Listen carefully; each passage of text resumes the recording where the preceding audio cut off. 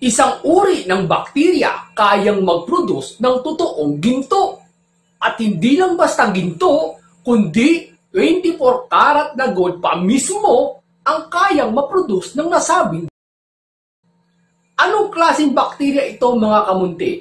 Iyan ang ating tatalakayin ngayon. Sumubaybay kayo dahil marami naman kayong matututunan at malalaman sa ating topic ngayon. Mas maganda, simulan na natin. Noong taong 2009, mayroong isang grupo ng mananaliksik ang nagmula sa Institute of Biology sa United Kingdom. Ang nasabing grupo ay pinangungunahan ni Professor Dietrich Mies.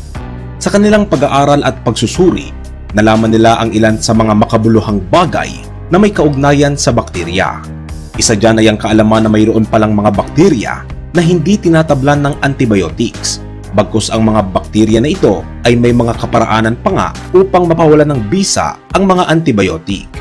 Gayon din, mayroong mga bakterya na kayang lumaban sa mga lason na direktang aatake sa kanila na siya ring paraan nila upang mapawalang bisa din ang mga lasong iyon. Sa taon ng 2009, doon din nadiskubre ng mga mananaliksik na ito ang isang uri ng bakterya na talagang kakaiba sa lahat ang bakterya na ito ay tinawag na Copreavidus metallidurans. Itinuring itong kakaiba ng mga microbiologist dahil sa kakayanan nitong mag-produce ng purong ginto o maliliit na gold nugget na ang mga ginto na iyon ay maaari pangang nasa uring 24 karat. E pero papaano nga ba naging posible ang bagay na ito?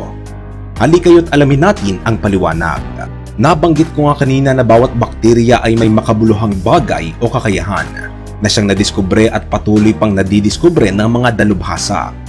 Kung mayroong bakterya na hindi tinatabla ng lason at nakakapagpawalang bisa pa nga din sa mga antibiotic, itong Copreavidus metallidurans ay mayroong kakayanang kumain at mag-digest pa ng mga toxic metals gaya ng cadmium, lead, mercury, chromium, nickel at iba pang kauri nito.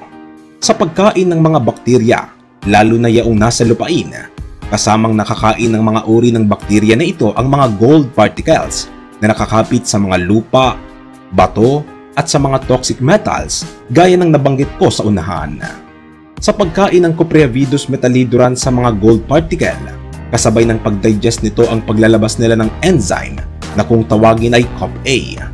Ang enzyme na ito ang naghihiwalay sa mga gold particle mula sa mga toxic metals at pag natapos na ang proseso ng pagtunaw, dito na magpoproduce ang mga bakterya na ito ng mga gold nuggets at ito ay sa pamamagitan ng kanilang mga dumi.